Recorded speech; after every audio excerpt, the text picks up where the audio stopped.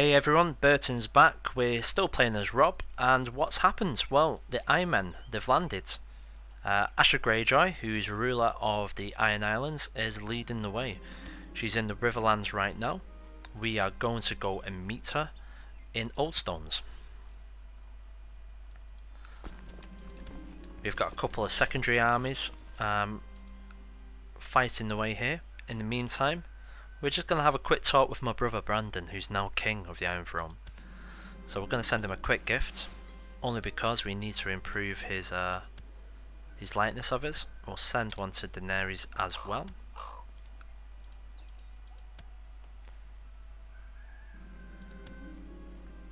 My reinforcements are right behind us, and as you can see, just on cue, the mercenary ships have arrived.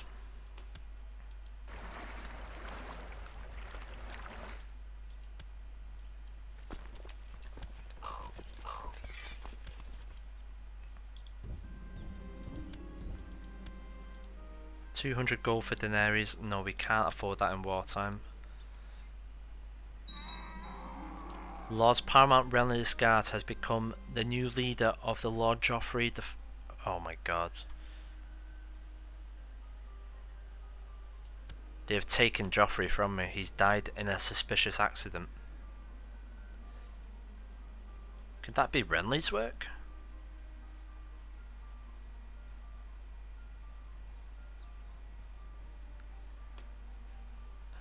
It looks like we have a new enemy.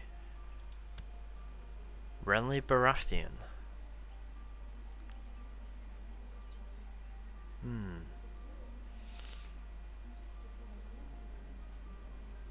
His heir is Tommen. We may have to deal with Renly.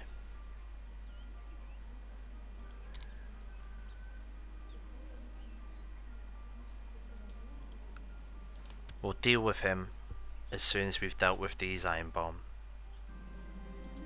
Asha Greyjoy has turned and is now heading south. Looks like the Battle of Oldstones will not be happening.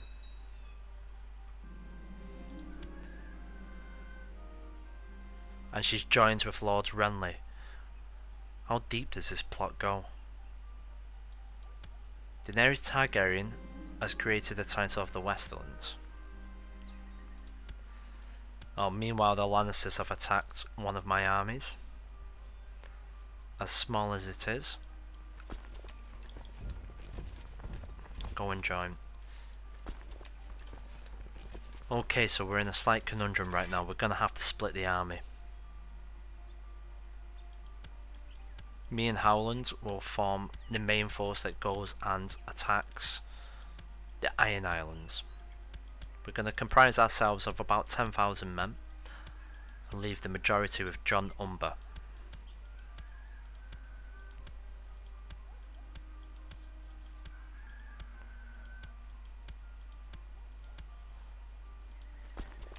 Go, onto the ship everyone. Jon, in the meantime, you're going to be chasing these.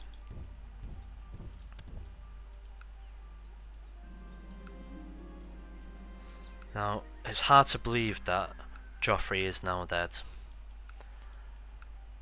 We didn't get a chance to exact revenge with ice. So perhaps the person who killed him will answer for his crimes.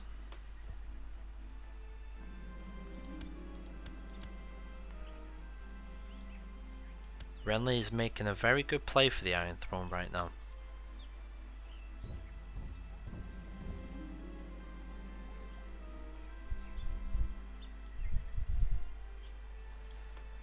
So far he's got the backing of 34,000 men. His own, Asha and Tommen.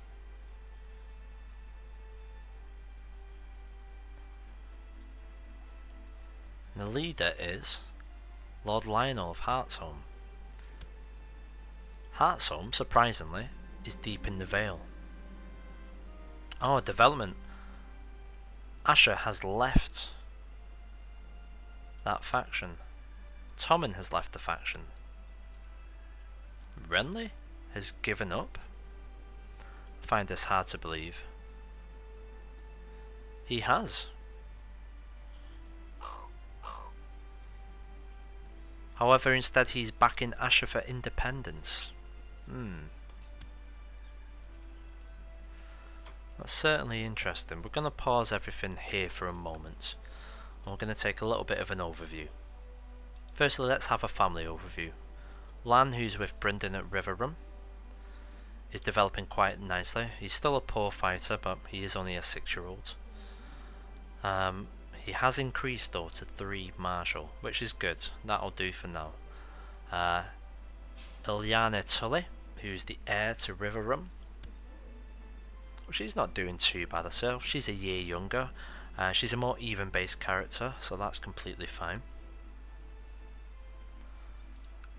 My brother Brandon, or Bran should I say, he's doing okay on the Iron Throne so far. He only slightly dislikes me, only because we refuse to let him go to the Night's Watch.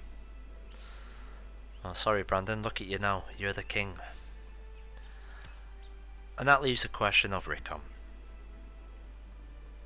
I think Rickon deserves a uh, deserves a family. So let's find us a quick wife for Rickon, and then we'll see where we can go after that.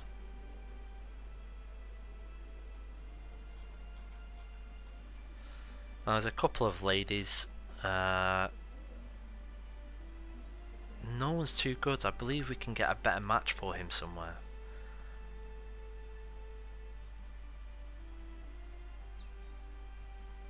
We've got one army. An army of one. He must be here to negotiate, that's completely fine. Okay, we'll have a think about Rickon. Let's get our army over to Iron Islands. We're going to go straight for it. Straight for Pike.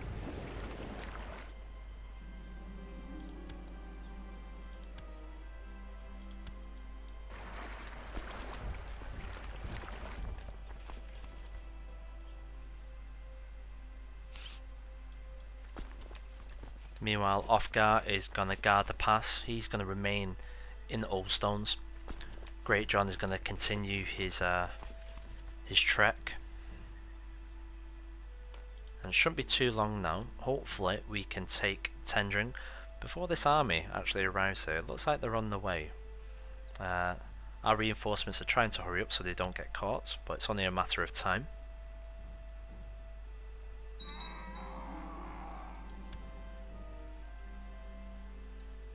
Ryman is dead. That is great news for us. Ryman was one of the guys who wanted the Riverlands very badly. With his passing, who's it passed to? Danwell. And Danwell happens to like us. So let's suggest the betrothal. So Danwell himself, we've got Barbara D. She's, she's far too old for him and obviously they're going to say no that's fine. We need to have a daughter. But I'm thinking about that. I'm not sure if I really want a daughter of mine to be married to a Frey. So let's pick a new ambition rather than have a daughter. Let's improve something some some skill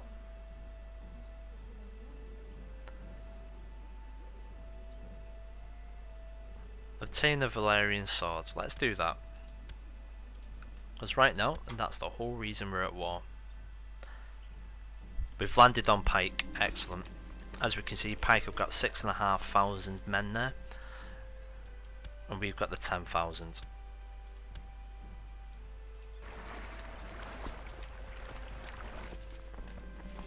It looks like they've landed another 5,000 men. We're going to meet them in Malay Bay.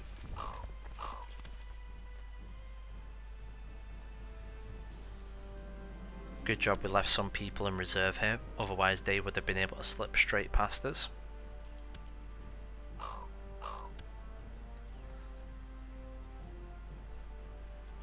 Our reinforcements have arrived. Hopefully we can take the Tendring. Asha is making her way straight for us though. So these guys really need to hurry up.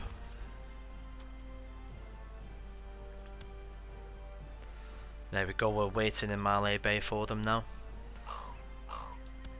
This is Ofgar's chance.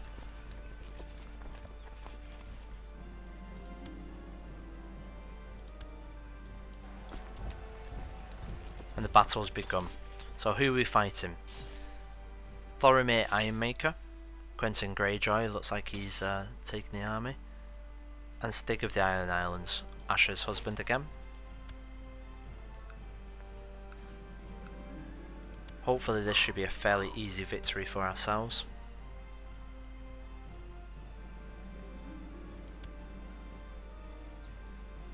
We have the advantage because we're fighting in uh, somewhat mountainous areas. Ah, in the meantime, Asha, the Kraken's daughter, Tyrion the Imp, and Swain of Great Wyk have joined forces and have uh, ambushed Lord Marq. I don't think reinforcements will get there in time, unfortunately. So we're destined to lose some of the war score on that.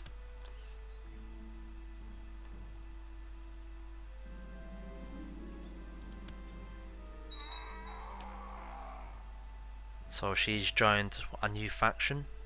It means nothing to me at all.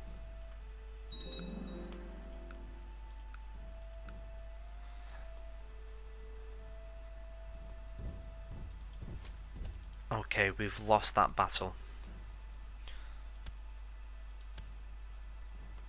So as you can see, Marq Piper has managed to escape with his life. Uh, they are making their way to uh, Casterly Rock. And that's where the reinforcements of Jon Umber are going to meet him.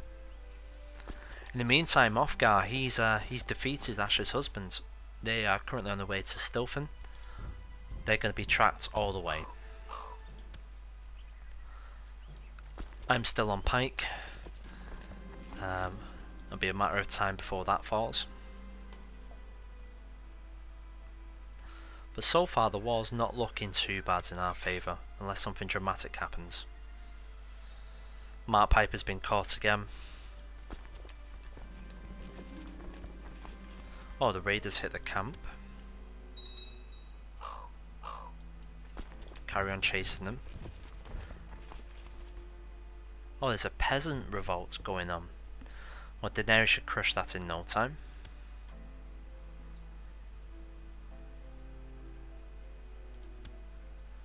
Can we catch them? There we go. Well done.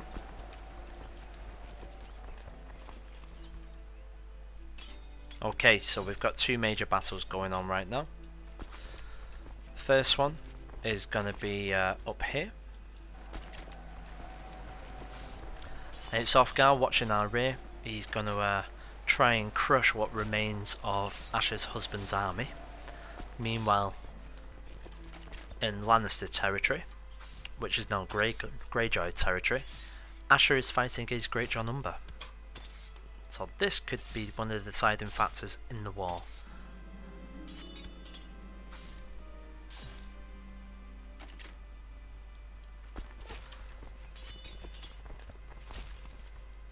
Now we've won the battle up north, it's just the battle down south now.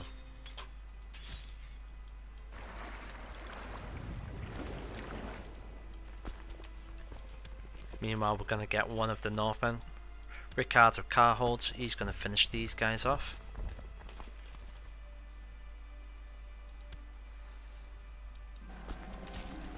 We're still winning this battle. Yep, they're turning to run, that's excellent. We're going to have to continue to hunt these guys down as well. That improves our war score to 39%.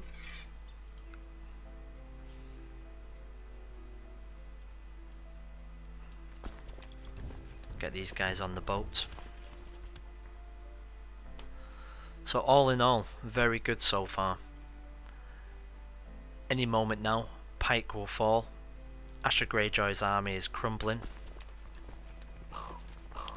They're back off to the Tendrig. So we want to chase them there again.